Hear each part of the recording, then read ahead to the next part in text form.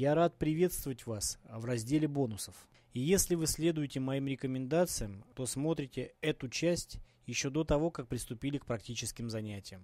И это правильно.